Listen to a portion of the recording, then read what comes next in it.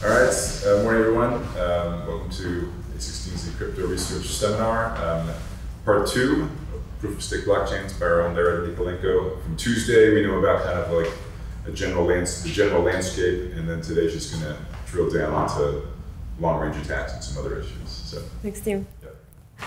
Uh, yeah. So uh, today we're gonna deep dive into one particular attack on proof of stake blockchains that's not possible in proof of work blockchain, and uh, that's, I guess, in my view, the hardest attack to combat. And there are different approaches, and we'll see different trade-offs that they offer. And maybe if there is time at the end, we can have a little bit of brainstorming. Maybe you guys have other ideas of how this can be mitigated. Um, but yeah, we'll start with the definition again of the long-range attack, just to remind you, I will not redefine the proof of stake, hope everybody kind of has the mental model in mind. And then I will discuss different mitigation approaches. So proof of stake um, blockchains, they're typically proved um, to be safe when a threshold of validating nodes um, is honest. And when you violate this threshold, then you lose safety. And then you can create forks and, and double spend on these forks. So um, you break the finality guarantee when, you, um, when the number of Byzantine validators kind of go over threshold. And um, when I will be talking about corrupting a validator or corrupting a validating node, what I will mean is corrupting a signing key of that node. So when I'm saying a node, just think about a signing key corrupting a node is corrupting its signing key. Uh, so during the time that validator is active and participating in um, kind of producing blocks for consensus, it has some stake locked. And in case of a deviation from the protocol, if it is observable, typically uh, you can slash the validator stake, so um, get it penalized for misbehaving, for not following the protocol, and causing the blockchain to fork effectively. So for Ethereum 2.0, for example, slashing conditions can, can be very harsh. So for Ethereum consensus layer, slash validator can lose um, potentially his own deposit, so 3 to 100%. Um, it will immediately forcibly be ejected from the validator set and will additionally has the remainder of his coins locked uh, for 36 days before they can withdraw, if there are any coins left, if he wasn't uh, slashed completely. So validators have really, really strong incentives to stay honest while they're validating. And there's even some lockup period after they stopped validating to make sure that if they were misbehaving while they were validating, somebody have enough time to kind of collect this data and maybe present it back to the protocol to get their stake slashed in, in any case. So there is a little bit of window when the stake continues to be locked, but the validator is not validating the chain anymore. So it's just idling there. Lockup periods can vary. For example, for Ethereum, it's one day.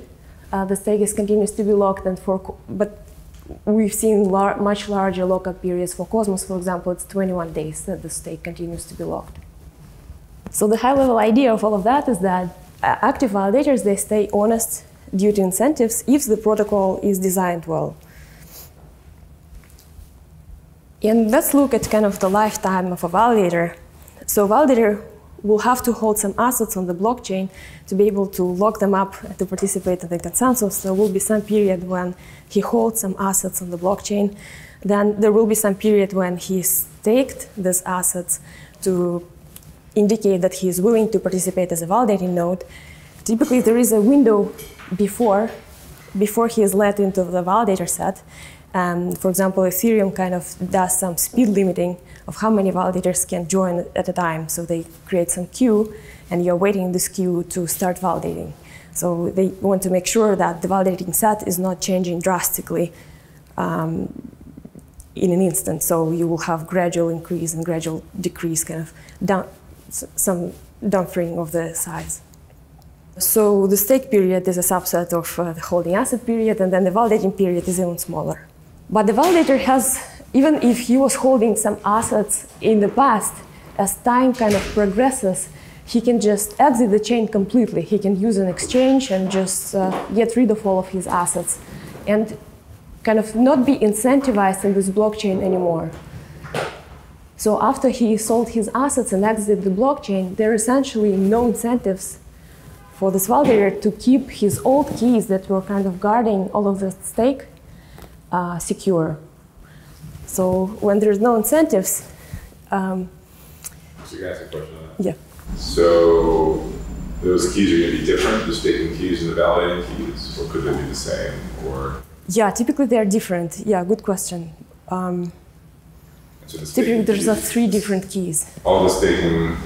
All right, so the so sorry, the first key is just like your normal, you know, private key for your account, I guess. Yeah, For the, right. Mm-hmm. to move the assets around. And you're saying, so the staking key will be used only to like withdraw your stake, or it has other mm-hmm. uses. To withdraw your stake, exactly. Yeah, so you will kind of sign with this key, you will sign your staking key, and then, well, effectively through transactions, and then sign kind of validating consensus key. Right. So you're saying you'll cast votes and it says work well using your validating key. Yes, exactly right. All right. So you you can compromise either the asset key, and then you will be compromising the stake, then the validating key, or you can be compromising the validating key alone and just causing disruption to consensus. Yeah, great question. We'll discuss keys uh, a lot. Um, so, if all validators become corrupt, then safety can be violated as well. It's not only that the active validators, you need to corrupt the active validators to break safety. You can also corrupt historical validators. So, for example, if your chain was um, growing nicely um, and was not forking, or at least was not didn't have any deep forks. It can certainly for Nakamoto consensus it can be forking at the tip, but usually the longest chain wins, so you don't have uh, kind of deep forks. So if your chain was growing nicely, everybody was staying honest, but then at some point maybe these validators who were finalizing one of the blocks or epochs uh, just exited the system completely and then sold their keys to the attacker. And the attacker now kind of got hold of all of those uh, consensus keys, it can, although this is a point in the past, it can still create an, an alternative block. And due to costless simulation of proof of stake blockchain, kind of continue this work onwards and uh, grow it very fast so that it's about the same length as the honest chain. And the poor user who was not online, was not following, maybe he just entered the blockchain, he cannot differentiate between the two forks. Or at least the attacker has the potential to make it indistinguishable from the top one.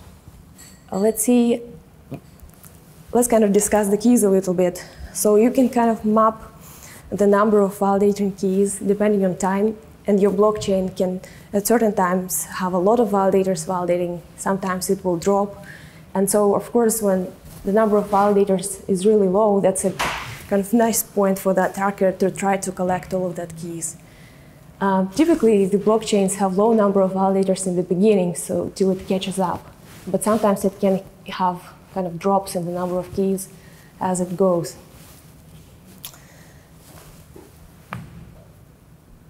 All right, so hope that gives you a high-level idea, and uh, we will discuss um, now mitigations for this problem. So I will show you five different approaches, and then maybe we can brainstorm if, if there are ideas on more stuff to explore. Um, so the first is the most simplest one is checkpointing. So the idea is that you'll have some centralized uh, checkpointing mechanism, and for example, uh, you can hardcode the checkpoint, checkpoint being just the hash of the block. So it's super small, doesn't have to be the whole state of the blockchain, it can just be commitment to that state, like a hash of the block. Uh, So you can hardcode the checkpoint into the GitHub codebase, for example. And when everybody is downloading that GitHub codebase and they're using it to synchronize to the blockchain, the GitHub just the codebase will just uh, kind of figure out which chain you need uh, to pick if there are any deep forks in there. So, for example, Genesis is hard coded into the GitHub of uh, all the clients. And uh, well, you think maybe this is an undesirable kind of because it's centralized. But if you look at the kind of blockchains today, it's kind of pretty centralized in terms of what clients everybody client is everybody is using. For execution client, the most popular is Geth, and it's taking about 83, 84% of the total nodes. So 80% of nodes are running Geth client from the GitHub. And for consensus clients, the, most of them are using Prism, so 60% of them. And that's data from January 2022. Um, and another idea of what you can do with the checkpointing is you can checkpoint to a proof of work blockchain, of course, and then uh, there you don't have the problem of it being susceptible to long, long range attacks. So if you put your checkpoint there, you can be sure it will not be reverted by some deep fork. Um, and actually, uh, some of the projects, even not related to blockchain, are using proof of work chains to checkpoint uh, their stuff, um, to put some hashes in, under their accounts. Yeah, so the problem is uh, the top approach is kind of centralized because you um, rely on the fact that everybody will be downloading the client that ha- all, all the clients will have the same checkpoint. So you either have a centralized place to download your client or the clients still have to consent on what check, which checkpoints should be there. Um, and of course, the other uh, approach has a problem that it's proof of work blockchain. The whole point of proof of stake is to get rid of proof of work. So, kind of, it's you're back to the original problem you were trying to solve, which is not great. So, are there any existing systems which do this? Like... I think only as a precaution, not like as a main uh, part of the protocol. But so some do do as a, as a precaution. Well, actually, I'm not the hundred percent sure. Like for Diem blockchain, we're thinking of doing it because it's. Bitcoin, well, Bitcoin did it for a very long time, but they removed it in 2016, 2017. And so, what, how did they implement? What was the? It was just exactly like this. It was just in Bitcoin Core client. They just had a line to say, "This hash should be in the blockchain." Good. Yeah. So the, the Genesis block limited that maybe some other things too. So yeah, I think what they have is like maybe six or seven different checkpoints at all time mm. before they eventually removed it mm. because it was centralized. Nice. Yeah. Also, if there is a hard fork, then uh, and you you want your client to follow one of them, you'll have to put a checkpoint in there so that it synchronizes to the correct fork. Um, yeah. So Joe's understanding that checkpointing exists more as a social convention rather than an automated protocol step. Right. Yeah, good point. I, I don't know if that was clear what I wrote and got a little out of it, but yeah, I mean, I, I think a lot of, as my understanding anyway, I've seen some projects that they don't have like a sort of an automated checkpointing system, but they sort of like manually put them in code or, uh, you know, like clients enforce them anyway, and they're sort of established by some undefined like human level protocol, basically which I think is mostly because people don't want to sort of admit that this is what they're doing. yeah. Great comment. Thanks, Joe. Yeah. uh, okay, let's discuss the second approach for key evolving cryptography. So, it's a good practice for validators and, and essentially for everybody on the blockchain to rotate their keys once in a while. Um, because the attacker can kind of be slowly crawling to get your key there, and if you rotate it, you kind of push the attacker back. Um, also, uh, yeah, but you need to be careful because the moment you rot this time when you rotate your key, you make yourself a little bit vulnerable to attack. Um, so rotate, I mean, um, you have you sign a transaction that basically moves you from this key to a fresh key. Yeah, you just change the key. Yeah. Right, and uh, let's see, like, if say the set of validators are is growing, and at some point you have you're compromising, say, two validators out of the big set, then although you cannot attack the chain at this point, if validators were not rotating their keys, uh, that immediately means that you're compromising uh, the validators from the sets prior to that.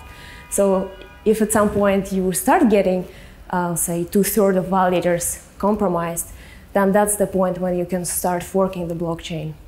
So although it seems like you're not compromising uh, enough, like if, if, the validators were keeping the same keys, compromising them for the last epoch, uh, is essentially the same as compromising them for some previous epoch, where you would have a supermajority of them compromised and can fork. So to mitigate that, like people were pr proposing to use uh, key evolving cryptography. So, and you will rely on the assumption that honest nodes will regularly rotate their keys and honestly forget the old ones. So you can either do this with on-chain transactions when you sign a transaction directly that uh, kind of moves you from uh, public key 1 to public key 2 and secret key 2 is completely independent of secret key 1. But if that's expensive, if uh, you don't want to submit a transaction, pay the fees for every key rotation, you can use some clever tricks uh, around time evolving secret keys. Um, and the, the, team from Algorand uh, was proposing the pixel signatures. The idea there is the public key stays the same, so you don't need to rotate it because only the public key is their own chain, so the public key is the same. But the secret key kind of is evolving with time. So uh, with every epoch number, you're kind of shaving a little bit of information from your secret key so that it, it starts to be more and more restrictive uh, and you cannot go backwards. So your secret key one is the most powerful. From that you can evolve all the next ones, but you from secret key two say you cannot go backwards and figure out what was the secret key one. And the signature that you verify, it also will take an index i so you cannot produce, um, say, sigma 1 using secret key 2. That will not be possible. No. So you cannot kind of go back and compromise, kind of forge sigma 1 using secret key 2. So that's a very nice trick.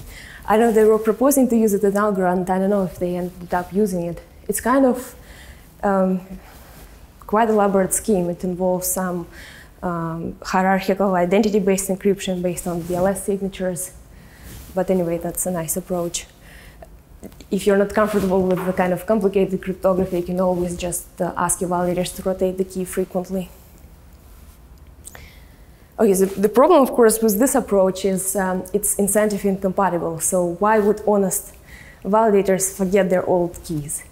if um, you know if there is incentive for them to keep the old keys and then when they exit the system kind of sell these old keys to the adversary then it's unlike well it's a little bit maybe naive to expect all of them to behave honestly and just keep forgetting information especially since you cannot check whether they forgot the information or not I mean, the way I think about it is it may actually be a little bit of a pain to truly delete old keys. And so it's just it's, that it's not so much that they want to keep them, it's just like they don't want to put in the effort to make sure that they don't keep them. You know what I mean? Yeah, exactly. Like even if you like wipe out the memory, how can you be sure that it's been wiped out?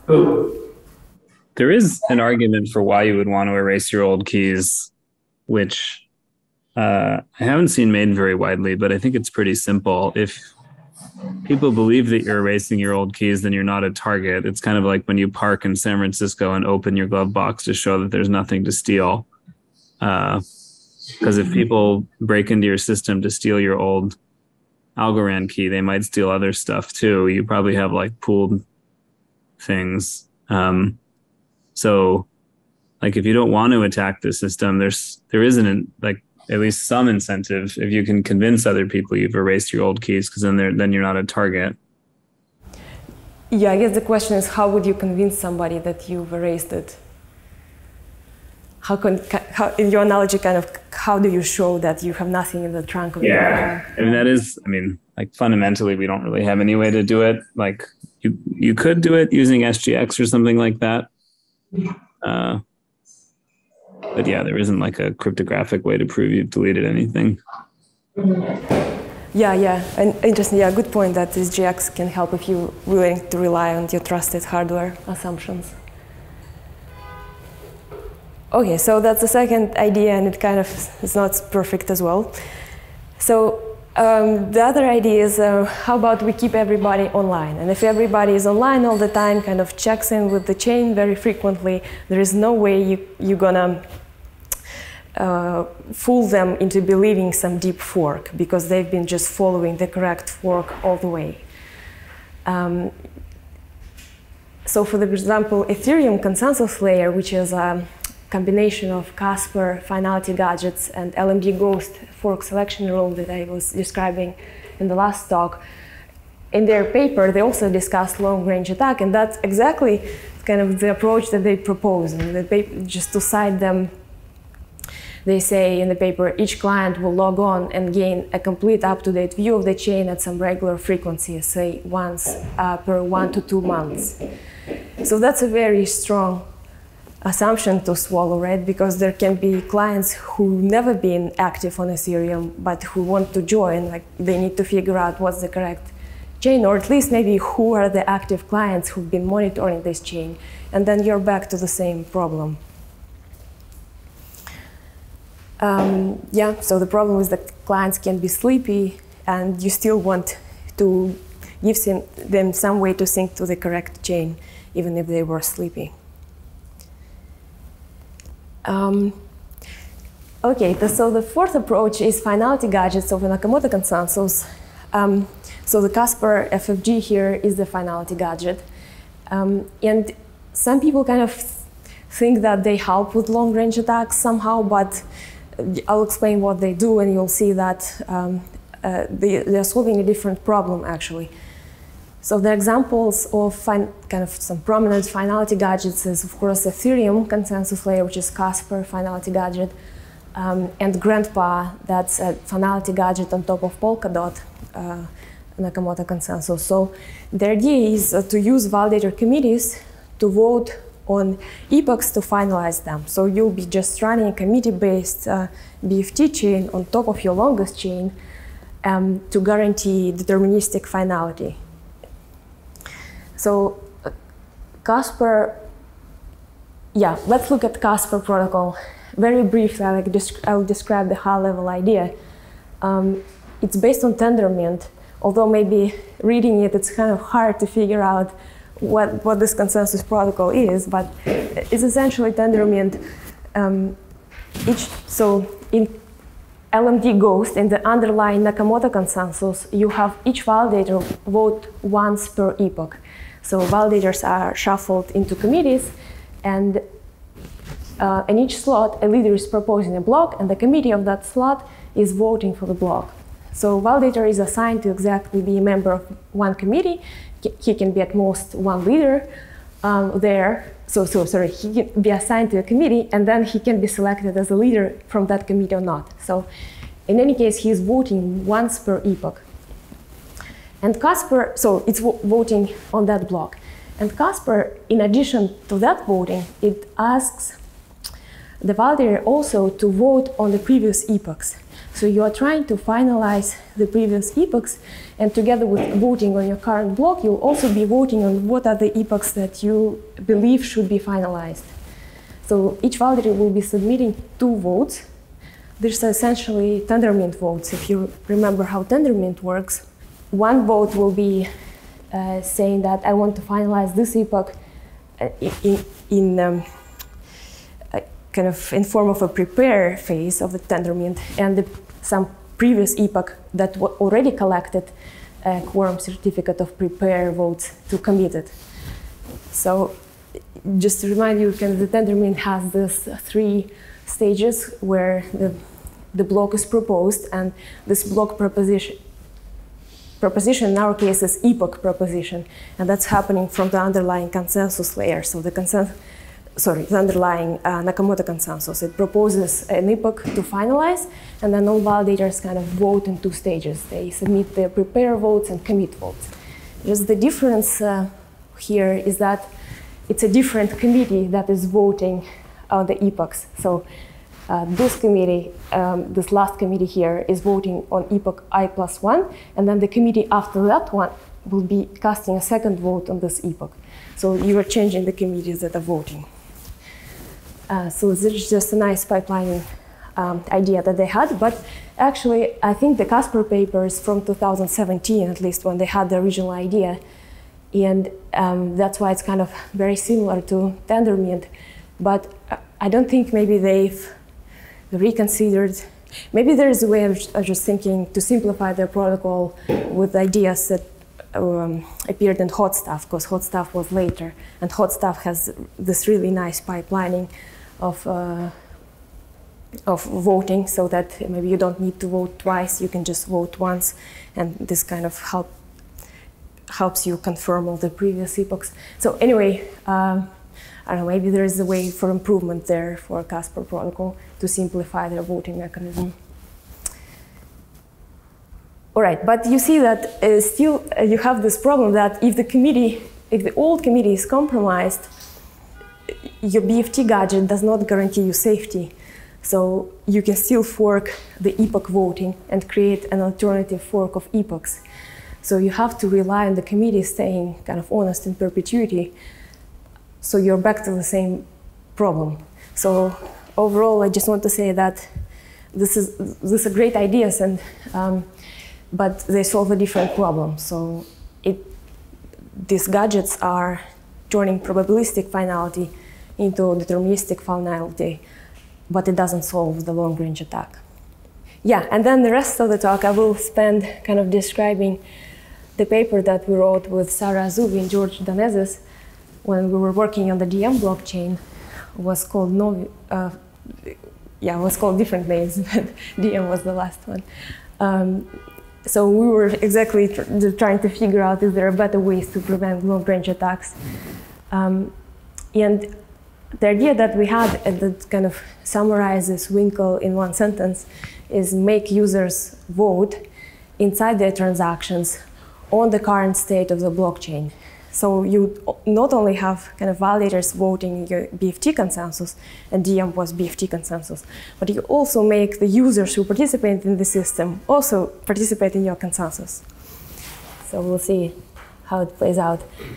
Uh, it will be easiest for me to describe the protocol uh, on top of BFT consensus that has deterministic finality, um, but you can this doesn't have to apply to BFT consensus only. It can also apply to uh, BFT consensus that's a finality gadget on top of Nakamoto. So you, you can add this on top of um, on top of your finality gadget, for example, if you have Nakamoto consensus underneath.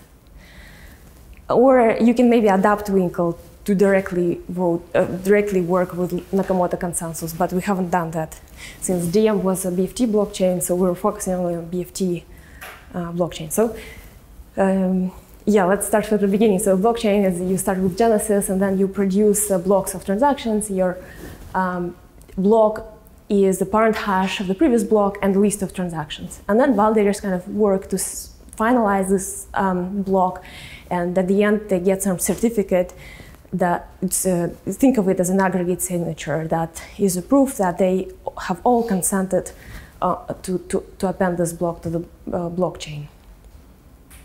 And the single block commits to the full history up to Gen Genesis because it contains the parent hash, so it has this nice chaining. Uh, but for the purpose of this talk, we will be focusing on epochs instead of blocks. Um, so when I show you this rectangle with a list of transactions, think of uh, an epoch of transactions. Because anyway, the BFT um, blockchain orders all of the transactions totally. So you can just think about uh, these blocks as epochs. So validators work on finalizing the next epoch of transactions, and they stay honest when active. So the typical BFT assumption is that you have uh, 3F plus 1 validators, and at most F can be corrupt. So validators kind of uh, figure out if they want to consent on this block, and they produce a certificate, they move to the next block or epoch, and they, so that's how they evolve the chain. Uh, so yeah, well, think of validators not notarizing epochs here. So validators are effectively just the set of public signature verification keys, as I was saying, and the certificate is an aggregate signature. And validators are typically implied by the previous epoch.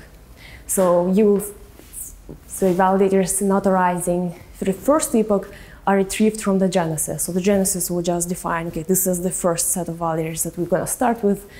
And then from the previous epoch, you retrieve kind of the next set of validators that will be finalizing. So validators to finalize E2 are retrieved from E1 epoch and so on. And to finalize E3, you need to retrieve validators from E2. Uh, yeah, and I was explaining in the beginning that if everybody is honest, uh, you have a single chain, but if validators, um, past validators are corrupted, they can fork and create an alternative chain that will totally confuse the user about which is the correct one.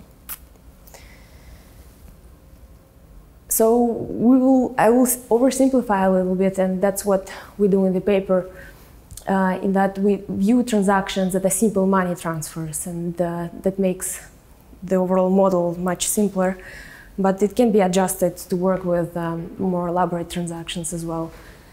So the transaction will be just of the format a sender, a receiver, and the amount, and um, signature will be a signature of the sender on this triple.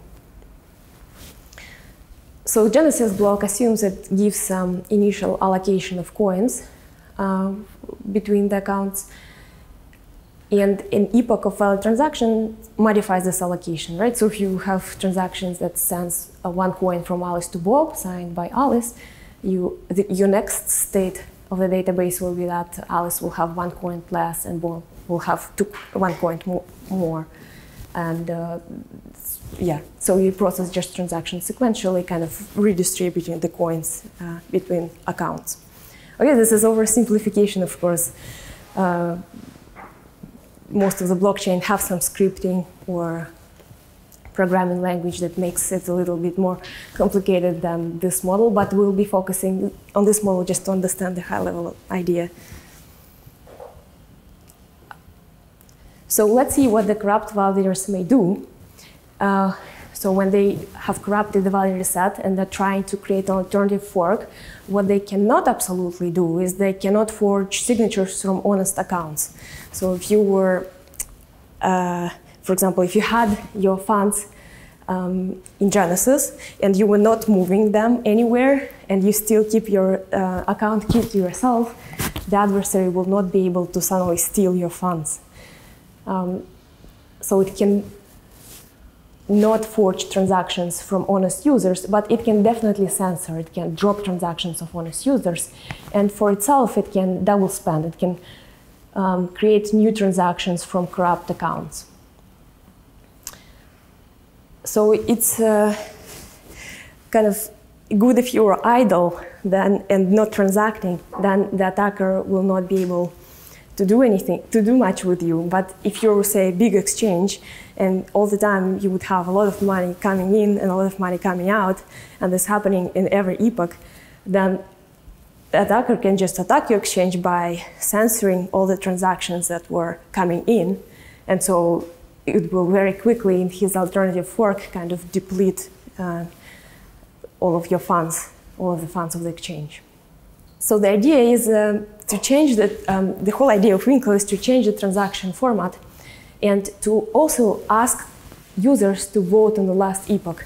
That's sort of a natural thing I feel to do. I'm a little bit surprised that none of the blockchains kind of thinking about doing that, but it definitely will kind of involve a little bit more work on the validator side because now they will need to make sure that the last epoch that the transaction is voting on it conforms kind of um, with the with the fork at which you are finalizing the transaction. So you need to make sure that the transactions in the epoch are voting on some epoch that was there on this chain, on the same chain.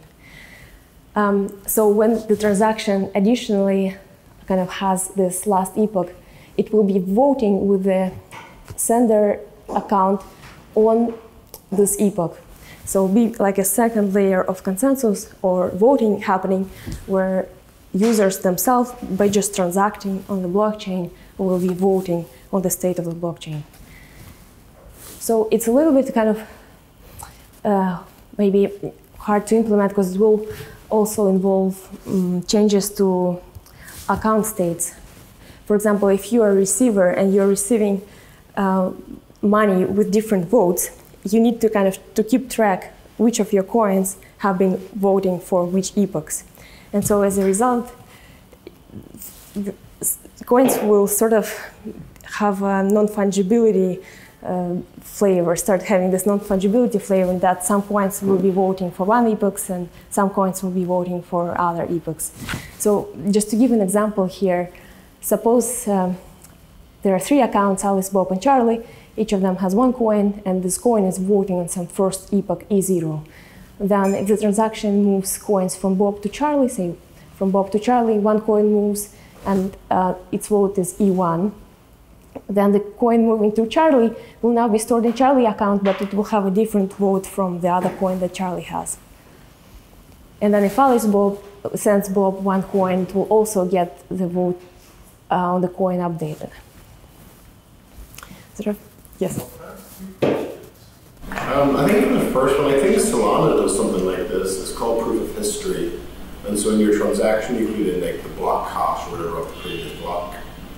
So I, Ah, think, I think they do something. I don't know if, if they use it for consensus, but they're doing something along these lines. Interesting. So maybe Okay. they, they call it the history. I found it really weird when I looked at it, but maybe this makes more sense. Uh-huh. Um, the second question was, what happens if Alice sends coin to herself?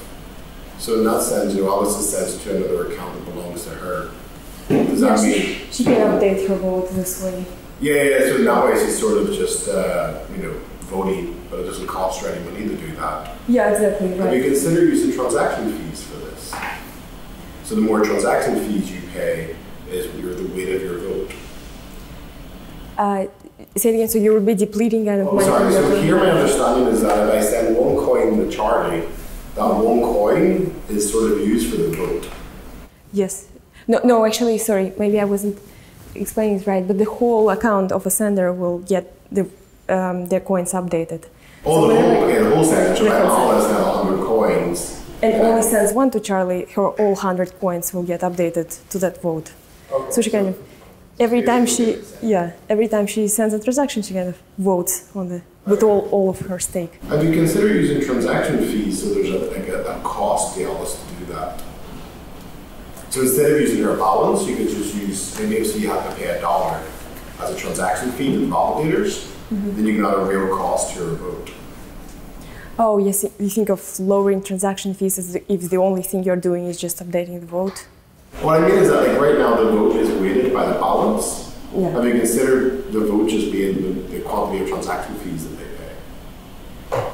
Oh, but that will be lower than the balance. Well, it just means that it costs them money to vote. Because right now it doesn't cost them anything to vote necessarily. Well, you still have the transaction fees, right? Oh, you're saying that the more transaction fees you pay, the kind of the stronger your vote Yeah, is. exactly. I I don't know if you considered it, but it's just what to me. Like, here it is. Yeah, maybe that's a good idea, like to express how strongly you believe uh, the chain. Um, yeah, we haven't ex- explored that, but the worry there is, the, I don't know, like, maybe uh, I'm not sure many users will be willing to pay transaction fees to kind of strongly express their vote. They would rather probably. Well, it's just because well, they're sort of doing this anyway. So Ethereum, they pay $10 million a day or something on fees. Uh, So that's like $10 million of votes you would get as well. yeah. Yeah, but I just, I just thought I'd Yeah. recommend, No, propose it, maybe it's a good thing to explore. Uh huh. Yeah, definitely. Thank you. Yeah, I mean, it's funny, it's almost like, like with EIP 59, basically, transaction fees would turn into this kind of non-transferable governance token in Yeah. effect, you know what I mean? So, Yeah, exactly. yeah. Um, cool. Can I can I ask? uh, Maybe I'll get to this, but what? Why it doesn't a long range attack apply for these types of votes too? Because like, uh, it seems like people making transactions when, once they've once they're not using their keys anymore, they can also be compromised, right? Yeah, absolutely. You're absolutely right. I'm gonna talk about that next.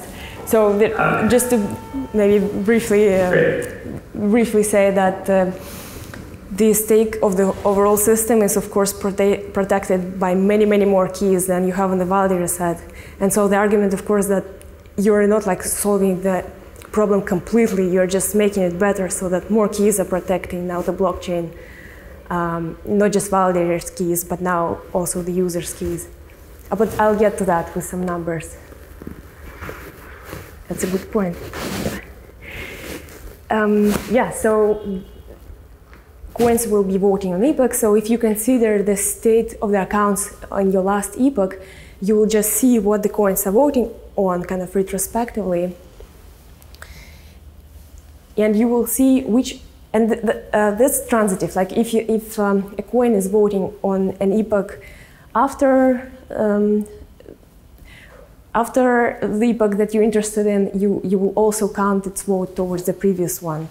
So kind of if you're voting on some um, subsequent epoch, it kind of transitively translates to the voting on all of the previous chain. So you will see which of the epochs gets about two-thirds of the votes, and this threshold is flexible. We are showing that maybe it doesn't have to be two-thirds, depending on the assumption that you want to have. But you can also go with BFT assumptions um, and uh, consider the checkpoint finalized if it's uh, voted by two-thirds of uh, coins according to the state of the accounts on the last epoch. Cool. So essentially we are kind of showing a security theorem saying that if the adversary has some max f fraction of stake to begin with, and that's the accounts that it has compromised and can double spend from, and at maximum some S stake moves within an epoch, uh, then if, if you can bound the, this F plus S over 2 um, by one third, then you can prove that the adversary cannot accumulate more than two thirds of stake to create a checkpoint on the fork. So for a user to see which chain is the correct one, it will kind of observe the chain for a while, and if it's not producing any checkpoints, or if it's uh, if it doesn't have any checkpoints at all, and the last uh, in the last interval that's sufficiently big, you will um, be suspicious of this chain and um, think that you are synchronizing to the wrong one. So the adversarial uh, chain will not be able to produce checkpoints, and that's kind of the, the core secu security argument, the core uh, theorem that we prove. And, for, and, if you're attentive enough, you, you, have this additional assumption that at maximum S stake moves within an epoch, and that's essentially to prevent kind of this exchange attack that I was describing. So if you can reroute uh, by censoring transactions, if you can reroute too much stake so that you end up with a lot of stake at the end, uh, you can make it so that you have more than two thirds. But if you bind the, bound the number of stake that moves within an epoch, uh, you should not be able to do so. But of course, that will require. Um, so first, S is really, really large, and it's super unlikely that uh, any chain will, within an epoch, have like a third of its stake moving. Um, but if you still anticipate this scenario, then um, you can potentially just end the epoch a little earlier and then start the next one. So what would be approaches to bounding S? Like do you envision that you would want to modify your protocol so that could have upper bound on S, or is it more just kind of empirical? Like you could just sort of see how much, what S was in hindsight and then conclude what the security was? Uh, you're, you're asking about how in practice will you pick? Yeah, like how would you get any control over S, like in, in practice, yeah? Yeah, so in practice, I guess you will pick your assumptions with which you're comfortable, like how many Byzantine nodes you want to tolerate and how many sleepy nodes you accept. So just think of it as like same as F. yeah. and then, yeah, if you're kind of, your epoch starts approaching that S, you can just uh, stop producing new blocks within this epoch or maybe you can do something with transaction fees that they will climb up and kind of disincentivize people to submit more transactions.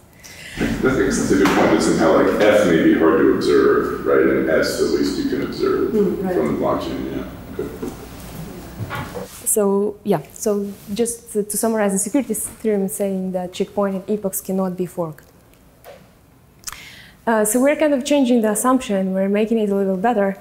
Um, so before we were relying on validators to stay honest and either in perpetuity or staying honest and alert. And now we're changing that into users staying honest and alert.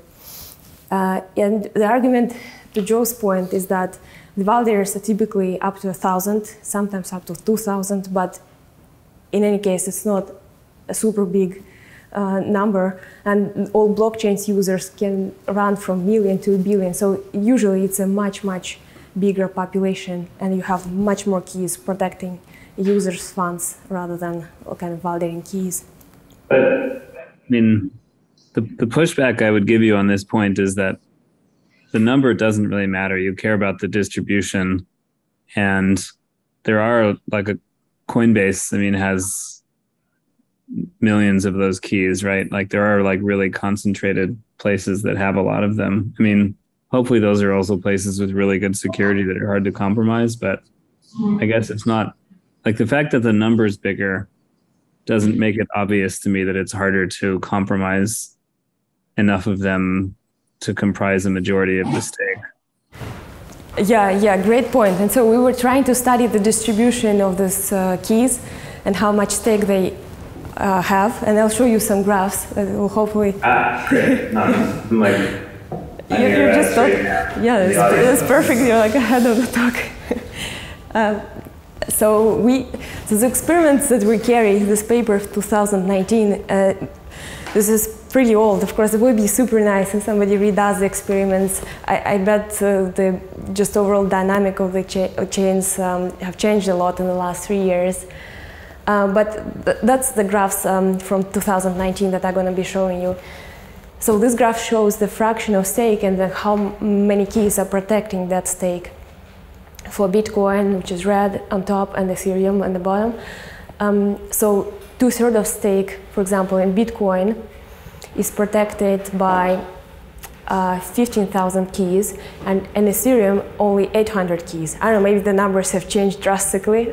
I'm not sure, but that what was the state in 2019. And so it was really nice that kind of our paper was allowing flexible threshold thresholds, and you can kind of balance uh, your Byzantine assumptions with or whatever other bounds, uh, other things you have to bound. So you can go, you can kind of raise your threshold um, from two thirds to something higher. And of course, if you go higher, for example, uh, 90% of the stake is protected in Bitcoin by 125,000 keys and Ethereum by 12,000 keys. Uh, and then if you go higher, of course, that starts climbing up really, really, rapidly. But it would be nice to see what situation is now. Um, so of course, the more users um, stake votes, the higher is the assurance. So you would probably just analyze these graphs for your current blockchain and determine your threshold to make sure that uh, you have protection of more keys than your validator set. And then we're also analyzing Winkle's efficiency. So we were saying, okay, let's take Ethereum or Bitcoin and see how quickly will they be checkpointing if we have every user uh, vote on the latest available block.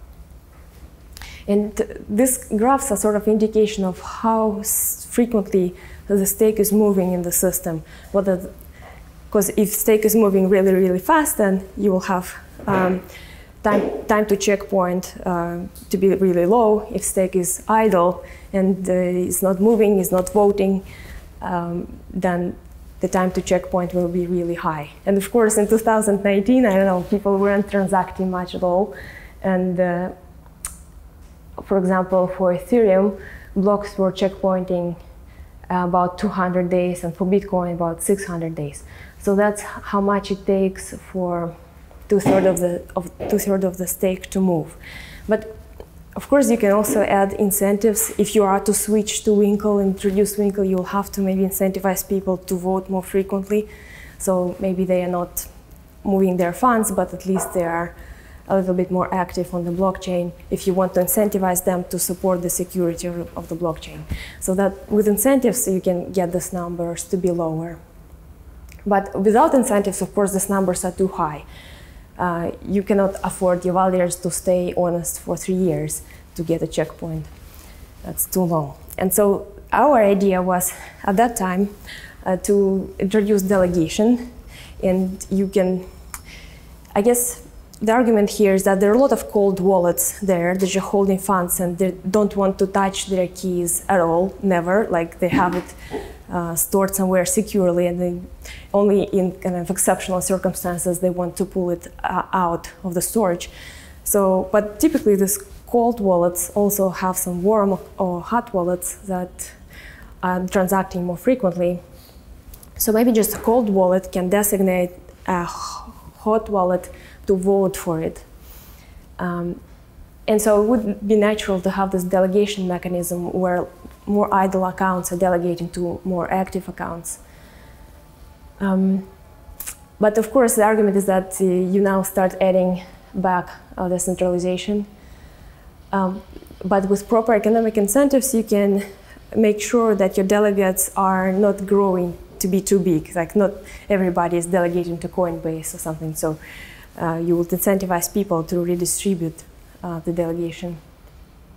But of course, if, if we are to take the most uh, frequently transacting accounts and use that as our delegates, uh, then depending on the number of delegates that you get that you have, um, the, uh, the time to checkpoint will drop significantly. So even for a million delegates, those are the most actively transacting accounts on Bitcoin and Ethereum, your time to checkpoint will be less than four days, which is, uh, which is great because you can afford probably to keep validator stake locked for four days and just keep them honest um, while being incentivized so that you're you have enough time to produce a checkpoint. Overall, what Winkle is doing is it's um, building on top of validator consensus layer where uh, you need to have two-thirds of validators to vote. At most, one-third can be Byzantine. Um, but that consensus layer is kind of complicated. It's interactive. It's computationally intensive. The validators should run um, expensive nodes, should have some infrastructure, um, usually. So, and this consensus layer is safe while validators' keys stay secure. But uh, on top of that, you can add user-based uh, kind of consensus or checkpointing with flexible thresholds. You can uh, play with the number of votes that you want to collect and the Byzantine threshold that you want to tolerate. And it's very simple for users. It's non-interactive. The only thing they do is just they include an additional hash inside their transactions to vote on some epoch. Uh, yeah, and users don't need anything else. They don't need additional infrastructure. Probably each user has a good understanding of what is the current chain because I would imagine users should be syncing with the chain once in a while just to figure out how much money they have in their account or what's the current value set uh, so that they can verify the signatures on their transactions from the SAT and such. So users should already have some idea of what the state of the blockchain. So maybe it's not asking too much uh, for them to include this uh, hash of the epoch inside the transaction. And yeah, and this with this new layer, the whole blockchain stays secure as long as users' keys keep it secure. And arguably, it's like philosophically a better model. Maybe you don't have uh, just validators guarding the chain, but you also have the whole population of the blockchain kind of helping it to stay safe. Yeah, to summarize um, the main part, um, so we were discussing long range attacks and we were looking at different approaches to mitigate them. So checkpointing uh, is done in practice, but it's too centralized. Key evolving cryptography, I guess it's the best, it's a good practice for any blockchain to implement. Um, but it's not incentive compatible. So if there are strong incentives to sell the key afterwards to the adversary, then you might not be honestly deleting your old keys, so that will not help. But that's definitely a good uh, still thing to have. Uh, keep everybody online seems like a recurring theme for protecting long-range attacks because in Winkle also you have users kind of to check in what's the latest state of the blockchain. So in a way they're also kind of keeping themselves online. Um, and we're also discussing finality gadgets that are helping the Nakamoto consensus to have deterministic finality that BFT gives. Of course, the time to finality will still be, uh, to, the time to deterministic finality will be very large for this um, combination of Nakamoto and finality gadget. So, so it's not a way to kind of speed up finality. To speed up finality, you need to move to BFT, uh, but that's a way to just um, make it deterministic instead of eventual. And then we discussed Winkle that kind of argues why it's it's a good thing to maybe have a user-based consensus on top of your blockchain. Yeah, that's all I have. Um, and uh, I know maybe we can discuss a little bit uh, if people have ideas uh, about what else can be done.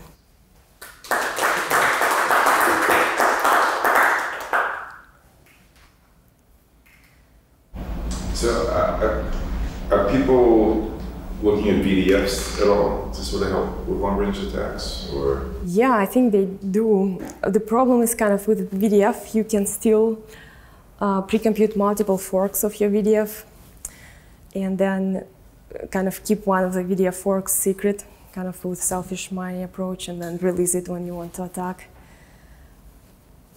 So, Tim, are you suggesting the idea that like you can you can tell a fork hasn't existed for very long because it doesn't have a long VDF computed on top of it? That's right. It's almost it's almost like using VDF as a proof of work surrogate, except it's sort of uh, certified. Oh, it's not really a proof of work. It's like a it's a timestamp surrogate. Um, yeah, there there's a there's a paper that does a whole bunch of formal modeling about this. It's called like uh, computational timestamping. Um, I'm not sure anyone's seriously trying it, and I'm not sure it's a great idea just because the like the attacker's speed advantage kind of uh, over time will always be able to make their chain look longer than the honest chain if you assume that they have like some 2x speed up you know or some non-trivial speed up over the honest parties so uh yeah i think it's a it's a good theoretical idea that doesn't it's is not that attractive in practice The other ideas are kind of a bit naive as well. Um, maybe you can keep rewarding old validators. Give them a little bit of a diminishing reward, maybe to maintain security, to keep, just keep them incentivized. That's not a great solution. Or maybe you can do some kind of perpetual liquid staking so that their stake kind of continues to be subject to slashing forever, but you can still get some liquidity through liquid staking. But uh, I think maybe I also think uh,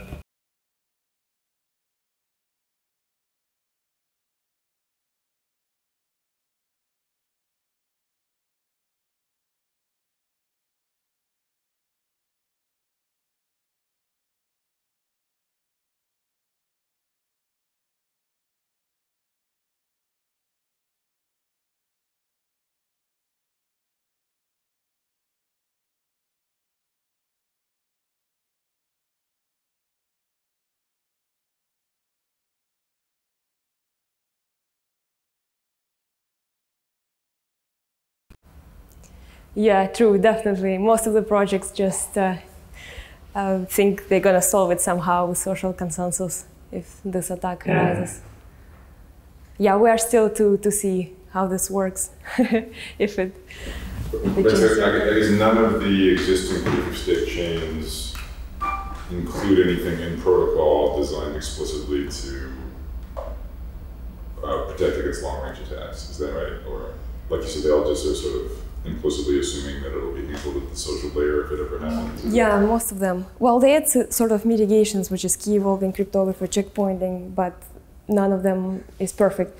And and you see that Winkle is also kind of it it, it kind of uh, makes your assumption weaker in that you now rely on the bigger population of keys, but it's not solving also.